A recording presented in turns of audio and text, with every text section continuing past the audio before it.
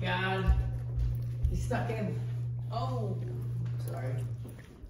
yeah. I totally fucked it up for you. I'm sorry.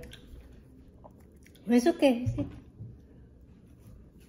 How can you do that with us?